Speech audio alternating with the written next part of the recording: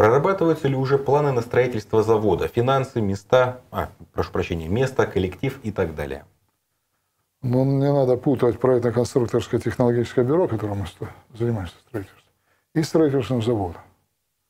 Предварительные проработки есть. Есть э, даже, рассматриваем вопрос, э, вот э, то, что мы обсуждали раньше, в случае избытка финансирования, прямо тут, на площадке Валабуша, сделать. Также есть сейчас предложение и в других местах поставить.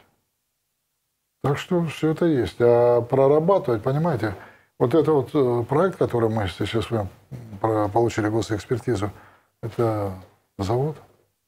Поэтому для него даже проект готов, в том числе.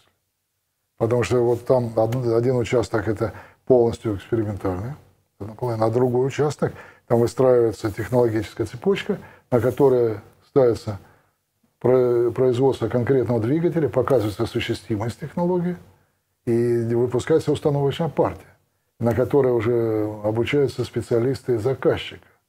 А, даже в этой части? Да, на этой части, а потом это продается.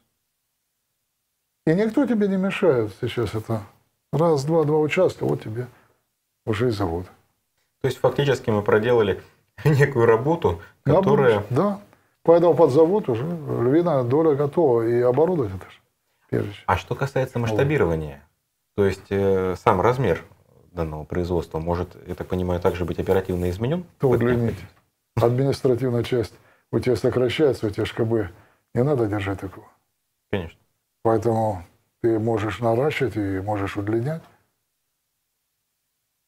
Это и все, это уже минимальнейшая доработка. У тебя проектная документация небольшой, небольшие доработки. И перекомпоновать. А там же дальше а, под остальное, под все можно типовые проекты применять. Я думаю, вы сейчас открыли глаза многим нашим зрителям, потому что эту тему активно э, обсуждали в наших социальных сетях, различных чатах. Угу. И вот сейчас ответили на вопросы многих. Нет, поэтому этот проект он готов для будущего, для дальнейшего. Поэтому мы заложили фундамент не только вот для текущего сегодня на сегодня, но еще и на будущее. Это же будет э, расширяться, поэтому заводы можно будет строить как пирожки уже, печь.